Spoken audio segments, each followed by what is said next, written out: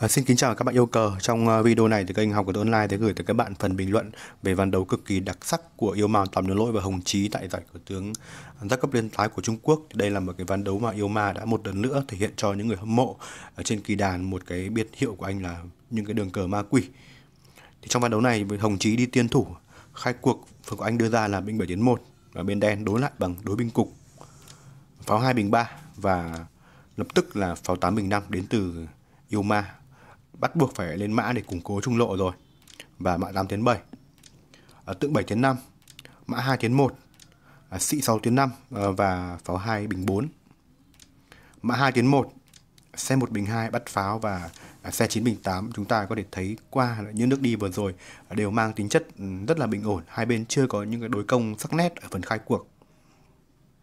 Ở bên đen xe 2 tiến 6 à, tiến xe lên điểm cao khống chế đường hoạt động của hệ thống quân của bên đỏ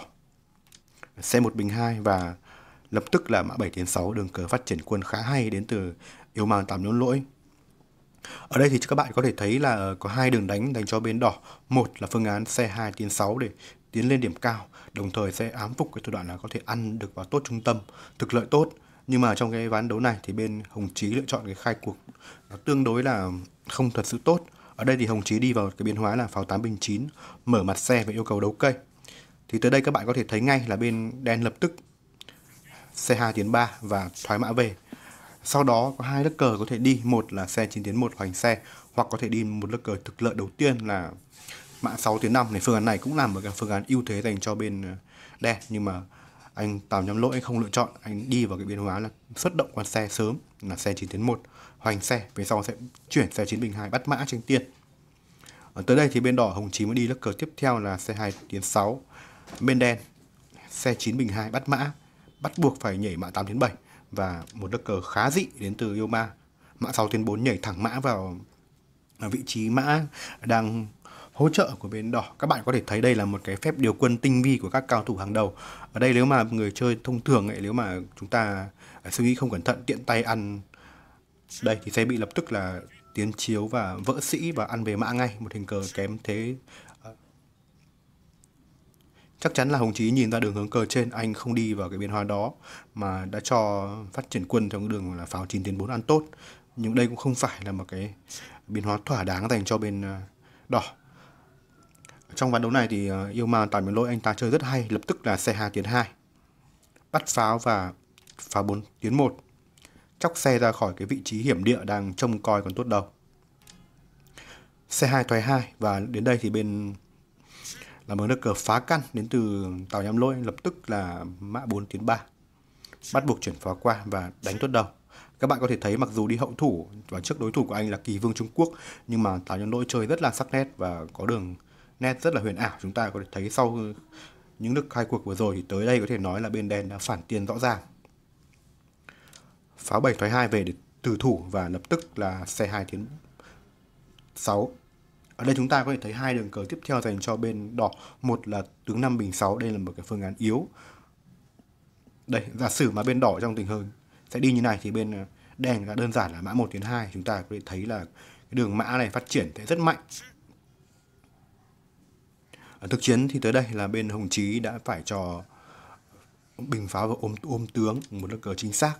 và Tào vẫn là một đường cờ bình 5 tiến 1 cái đường cờ bình 5 tiến 1 này với ý tưởng là sẽ không cho con bên đỏ có thể bình xe vào trung lộ để chóc pháo đầu đi.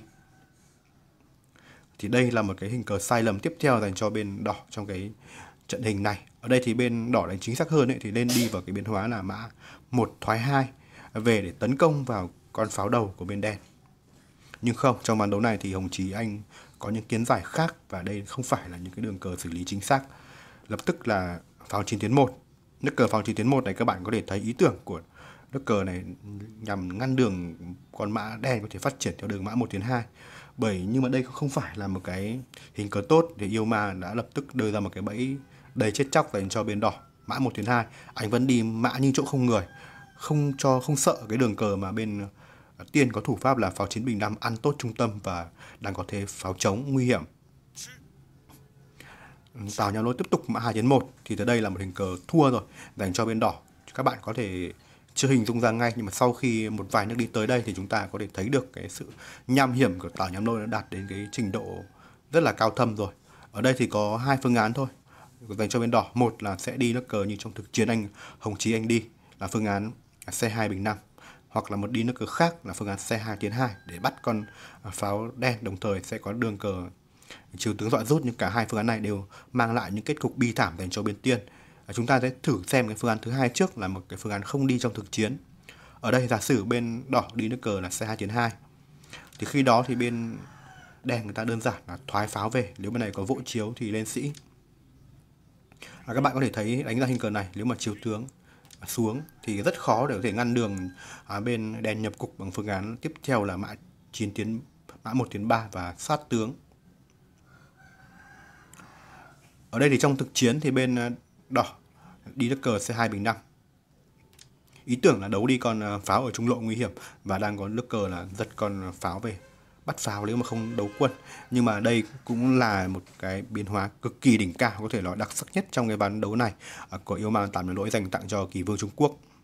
À, tới đây chúng ta có thể thấy được là bên Tào lập tức tung ra một đòn sấm sét C2 bình 4 ăn pháo ngay. Một đường cờ quá huyền ảo của Tào nhắm lỗi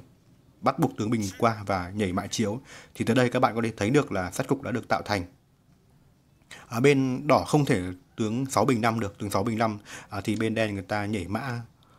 hai thoái 4 là sát cuộc ngay. Bắt buộc phải tướng 6 tiến 1 và vẫn là một cái đường cờ không thể ngăn cản. Lập tức pháo 5 bình 1 đe dọa lớp cờ tiếp theo là pháo 1 tiến 2. À, thì tới đây là các bạn có thể thấy rõ là bên ờ, đỏ không còn thủ pháp phòng ngự nữa. Mặc dù vẫn đang có thể có thể thoát pháo ra chiếu tướng nhưng mà qua hình cờ vừa rồi chúng ta có thể thấy được là bên ờ, đen của anh Tào Nhà Lỗi trong ván đấu này đã thể hiện một cái công lực kinh người. À, như vậy là tới đây thì bên Hồng chỉ đã chấp nhận là bốn cờ nhận thua.